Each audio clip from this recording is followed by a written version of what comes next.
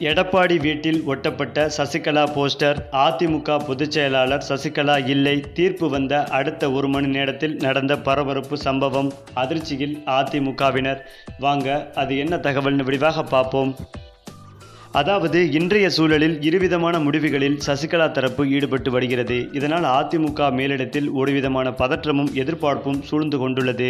எடப்பாடி பழனிசாமி விஷயத்தில் அளவுக்கு அதிகமான பொறுமையை கையில் எடுத்து வருகிறார் சசிகலா. அவரை தன் பக்கம் இழுத்து வரும் முயற்சியையும் விடாமல் மேற்கொண்டு வருகிறார். அதே சமயம் அதிமுகவின் அதிருப்தி தலைவர்களையும் நேரில் சந்திக்க திட்டமிட்டு இதற்காகவே சுற்றுப்பயணங்களை மேற்கொண்டு வருகிறார் சசிகலா.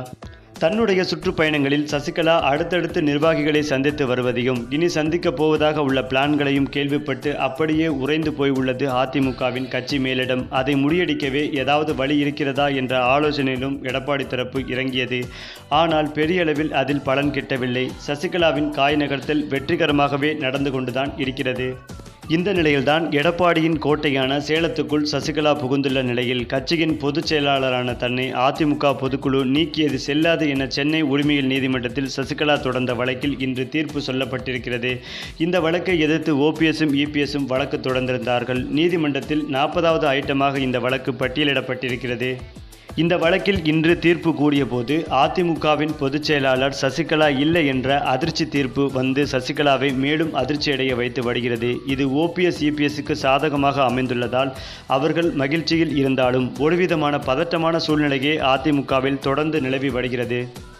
இந்த சூழலில்தான் இரண்டு நாட்களுக்கு முன்பு அதிமுகவின் மாஜிக்கள் சிலரிடம் பேசியிருக்கிறார் சசிகலா. அப்போது சசிகலா தரப்புக்கும் எடப்பாடி தரப்புக்கும் இடையே ஒருங்கிணைக்கும் பணிகளை எடுப்பதற்கான பேச்சுவார்த்தை நடத்த ஒரு நபரை தேர்ந்தெடுங்கள். அந்த நபர் நடுநிலையராக இருந்தால் சரியாக இருக்கும் என்று சசிகலாவிடம் மாஜிக்கள் தெரிவித்திருக்கிறார்கள். அந்த நடுநிலையாளராக போயஸ் கார்டனில் ஜெயலலிதாவின் நம்பிக்கைக்குரியராக இருந்த ஒருவர் தேர்ந்தெடுக்கப்படலாம் என்று சசிகலா வட்டாரங்கள் தெரிவித்து வருகிறது.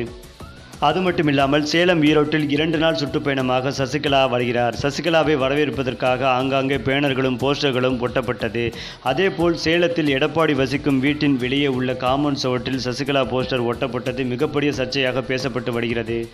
நள்ளிரவில் எடப்பாடியின் வீட்டுக்கு வெளியே சசிகலாவின் போஸ்டரை ஒட்டி வைத்திருக்கலாம் என்று சிசிடிவி கேமரா மூலம் ஆராய்ந்து வருகிறார்கள். இது எடப்பாடிக்கு மிகப்பெரிய அவமானமாகவே பார்க்கப்பட்டு வருகிறது.